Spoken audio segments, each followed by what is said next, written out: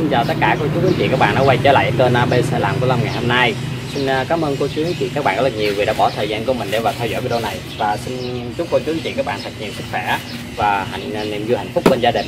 Thì Lâm hiện 30 tuổi và đang sống ở Phước Long Bạc Liêu. Thì các bạn có thể kết bạn với Lâm qua Facebook Sơn Trần Vũ Lâm hoặc là fanpage Đại La Mộc nhóm Đại La Mộc mà Lâm lập ra để cùng nhau chia sẻ những kinh nghiệm về việc, về việc chơi lan nếu mà bạn nào chưa nhấn nút đăng ký kênh thì hãy nhấn nút đăng ký kênh để ủng hộ tinh thần cho Lâm. Và khi xem video xong hãy ờ, like video và chia sẻ cho nhiều người cùng xem giúp Lâm.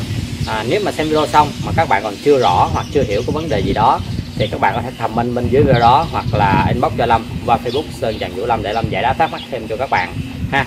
Thì uh, video ngày hôm nay là cái video mà Lâm muốn chia sẻ cho các bạn đó là cái việc chăm sóc một cây lan mới tách chiết ha. Cái việc chăm sóc như thế nào? Thì à, những việc cần lưu ý ra sao thì à, mong các bạn à, cũng cố gắng chịu khó mà ừ, xem và là mình xem cho nó kỹ kỹ tí đi ha. Rồi để mình xem những việc cần lưu ý để mình chăm sóc cái cây lan mới tách chiết à, nó như thế nào. Thì à, trước khi mà Lâm chia sẻ thì Lâm xin mời các bạn xem ba ba cái cây mà Lâm mới à, tách chiết mà Lâm mới trồng lại vào đầu.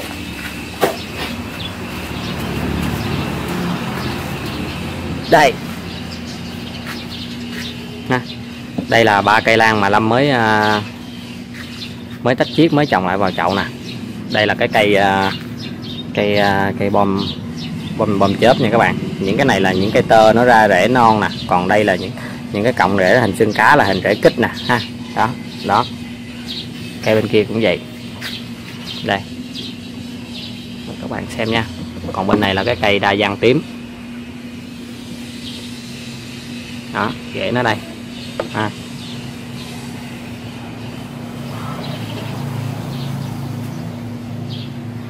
đó, xin mời các bạn xem nha rồi à.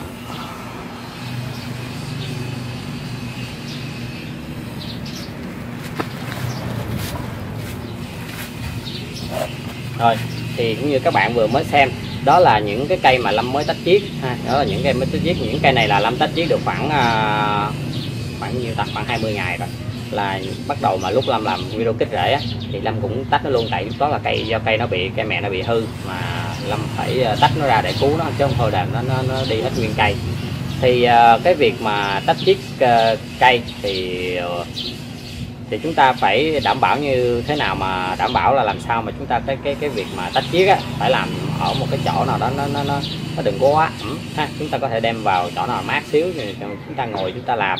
Rồi khi mà tách chiết thì chúng ta phải là cắt cho cái vết cắt nó thật là ngọt. À, rồi cắt xong để cái vết cắt nó khô khoảng 15 phút sau 10 phút sau là nó khô đó là chúng ta mới lấy keo chét lại ha mới lấy keo chét lại đó. Rồi cái việc mà khi mà rồi chúng ta rồi chúng ta mới trồng lại vào chậu ha chúng ta có thể trồng lại vào chậu ngay. Thì trồng lại vào chậu thì chúng ta phải để một cái nơi nào đó mát ha thoáng à, mát mà thoáng nữa. Đừng có đừng có nắng gắt nha đừng đừng có nắng nhiều quá đừng có đem ra ngoài giường liền. Thì chúng ta cứ để ở đó à, khoảng một ngày đến hai ngày sau thì chúng ta mới đem ra lại cái vườn mà chúng ta treo ha, đem đem ra vườn chúng ta treo lại. Thì khi mà treo á thì chúng ta sẽ tưới nước xịt nước bình thường chỉ ờ, tránh cái trường hợp mà mới trồng xong đem ra tưới nước liền thôi. Thì các bạn đừng có gấp không sao hết. Để một khô một hai ngày đi. Nó có teo thân lên chăng nữa thì uh, cũng không sao hết tại vì nó đã hư cây kia rồi mình cứu được cây này nữa thì nó sẽ ok hơn. Còn mình gấp quá mà mình tưới nước liền cho nó thì nó sẽ không có tốt. Rồi khi mà trồng thì chúng ta lưu ý là đừng có trồng quá sâu nha trồng cái cái mắt ngủ của cây lan á là nó phải nằm trên giá thể nha các bạn. Tại vì cũng có một số bạn gỡ hình cho lâm xem á là mới tách chiết xong rồi trồng lại rồi rồi, rồi, rồi, rồi à, trồng sâu quá ha trồng sâu quá. Thì à, đây là những cây mới tách chiết còn đối với những cây mà lâm có hướng dẫn các bạn mà các bạn bấm thân các bạn để trong chậu đó thì cũng làm như vậy thôi thì cũng đợi nó khô rồi chúng ta chép keo lại.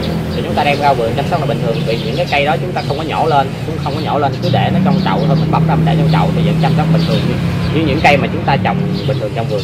Còn đây là những cây mới tách chiết thì chúng ta phải lưu ý là cái việc đầu tiên là cái việc tách chiết cho nó sạch đẹp sạch sẽ gọn gàng. Rồi trồng làm sao chúng ta cố gắng lấy dây cố định nha. Cố gắng lấy dây cố định đừng cho nó nó lắc tại khi mà nó lắc nó cái, cái đầu rễ non nó ra nó sẽ bị có thể sẽ bị hư. Rồi dẫn đến cái cái cây nó bị thung rễ thì cái việc kích rễ nó cũng được nhưng mà nó nó nó hơi khó khăn hơn tại vì nó có sẵn nó ra thì nó có tiền đề ra thì nó dễ hơn. Rồi cái việc tiếp theo nữa là cái việc bón phân xịt thuốc. Ha bón phân xịt thuốc. Thì các bạn đừng có quá nôn nóng mà các bạn bón phân liền cho nó. Ha đừng có bón phân liền mà chúng ta phải xử lý cho nó ra, ra rễ ha. Rồi cái việc xử lý ra rễ như thế nào thì các bạn có thể xem lại video kích rễ của Lâm. Thì Lâm cũng uh, có việc hướng dẫn các bạn kích rễ. Đó thì có bạn nói là kích rễ chi mà nhiều lần quá thì nó nó nó nó nó, nó phí. À, thì thật sự đối với những cây mới tách chiết như thế này mà chúng ta không kích rễ á, thì cũng được nhưng mà tại vì nó ra mầm tơi nữa ra thôi nhưng mà đối với những cây mà cái thân có thân thân già đi, ha, những cây mà thân già thì nó chưa có ra cái mầm tơ đi, thì cái, nếu mà chúng ta không kích rễ mà chúng ta mới mới tách ra nữa thì nó rất là khó ra rễ.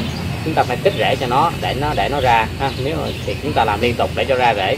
Rồi khi mà ra rễ xong, rễ nó ra có một đoạn dài khoảng 4 5 cm hồi nãy thì các bạn thấy nó có một đoạn trắng rồi đó có một đoạn trắng rồi đó thì chúng ta mới xịt phân cho nó. Ha, chúng ta mới xịt phân cho nó.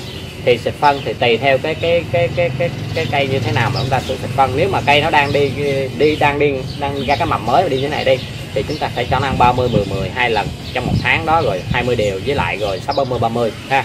Đó là ờ, đó là đẩy cái việc đi mầm. Thì xịt cái đó là giống như trong mùa nắng, còn như trong mùa mưa này thì chúng ta chỉ cần xịt 30 10 10 một lần thôi, hoặc là không xịt cũng được, ha, không xịt cũng được thì chúng ta sẽ xịt 20 đều hoặc là 60 30 30 cho nó. Ha nhớ nha các bạn. Tùy theo cái mùa nắng hay là mùa mưa, rồi tùy theo cây lớn hay cây nhỏ, hoặc là cái cây trưởng thành hay là cây đang đi mầm. Thì nói chung là chúng ta phải quan sát cái cây của chúng ta. Thì chúng ta mới biết xịt phân như thế nào. Tại vì có bạn hỏi lâm ừ cây gì rồi xịt phân sao? Thì thật sự lâm không có nhìn thấy tình trạng cây thì cũng cũng hơi khó góp ý cho các bạn mình phải quan sát tình trạng cây của mình thì mình mới biết là xịt nó phân như thế nào.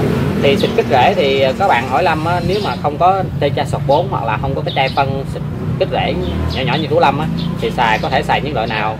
Thì chúng ta có thể xài những cái loại như là cái rốt nè rốt ra rễ nè hoặc là cái uh, những cái n 3 m rồi những cái loại phân thuốc ra rễ khác. Rồi nói chung là thì có cái nào thì chúng ta sử dụng cái đó nhưng mà liều lượng thì à, à, 1C một lít nước thôi ha 1C một lít nước thôi. Tại vì Lâm sử dụng liều lượng 1C tại vì Lâm Lâm à, sử dụng trồng cho lan rừng rồi thân thòng Lâm hết nên Lâm sử dụng là 1C một lít nước ha. Thì nếu mà chúng ta không cần nó ra rễ gấp thì một tuần xịt một lần ha. Còn nếu mà chúng ta cần nó ra rễ gấp thì chúng ta có thể xịt một ngày nghỉ 4 ngày chúng ta xịt lại hoặc là nghỉ 3 ngày chúng ta xịt lại làm liên tục 3 lần. Như vậy khi mà thấy nó ra rễ rồi ha à, thì chúng ta phải cho nó ăn phân thì cũng có bạn hỏi lâm mà xịt ba lần như vậy mà không thấy kết quả thì như thế nào? Thì xịt nữa thôi chứ cũng không, không có gì hết. Các bạn cứ cho nó một lần nữa không sao hết. Thì khi nào mà nó nó ra mình thấy nó ra để khỏe rồi thì chúng ta sẽ bón phân xịt phân cho nó ha. Xịt phân thì ờ, xịt vào gốc ha. Cũng chủ yếu là xịt vào gốc thôi qua lá thì nó cũng hấp thụ rất là ít. Thì chúng ta phải cố gắng à, làm sao cho nó ra rễ tốt ra rễ mạnh thì chúng ta mới bón phân cho nó à, những cái cây này nè là 20 ngày rồi lâm chưa bón phân. 20 ngày lâm chưa bón phân.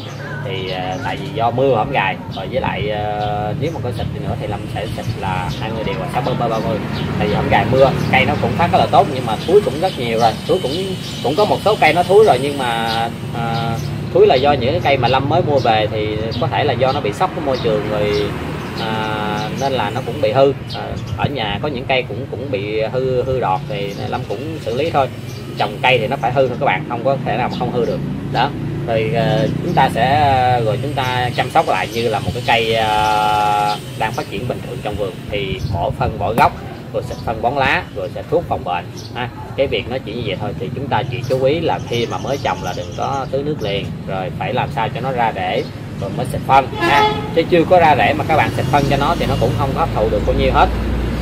Thì à, à, đây là những cái việc mà lâm thấy mà cần lưu ý để mà khi mà chúng ta mới ờ, tách chiết hoặc là à, thay chậu cho một cái cây thì chúng ta sẽ chăm sóc như thế nào ha.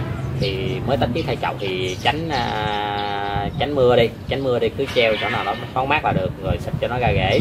À, rồi chúng ta phải mới cho nó ăn phân. Nhớ nha các bạn thì à, cũng mong video này sẽ à, giúp được cho các bạn à, biết được cái cách mà chăm sóc một cái cái cái cái cây lan một cái chậu lan mới tách chiết hoặc mới thay chậu như thế nào. Thì nếu mà xem video này xong nếu mà các bạn thấy hữu ích thì hãy like video này và giúp Lâm bằng cách là chia sẻ nó cho nhiều người cùng xem để mà nhiều người cùng cùng cùng nhau mà nói chung có được những cái chậu lan đẹp. Chơi lan thì uh, ai cũng muốn chậu lan của mình to đẹp hết thì cũng mong các bạn là chia sẻ nó cho nhiều người cùng xem giúp Lâm.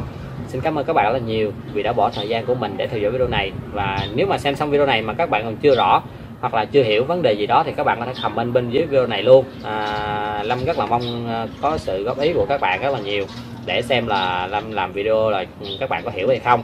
Rồi à, có, có, có, có, có, có, có, có đúng như những gì bạn các bạn mong muốn hay không thì các bạn cứ cứ comment góp ý bên dưới đi. Thì Lâm sẽ trả lời hoặc Lâm sẽ làm video trả lời cho các bạn để cho nhiều người cùng biết luôn ha. Rồi à, xin tạm biệt, hẹn gặp lại các bạn ở các video tiếp theo.